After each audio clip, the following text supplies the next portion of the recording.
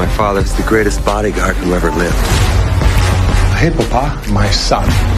What the? Chill. He's a legend. No, motherfucker. His voice is so deeply rich in its timbre. The fact that he's published author. Why don't you start seeing with your heart instead of your head?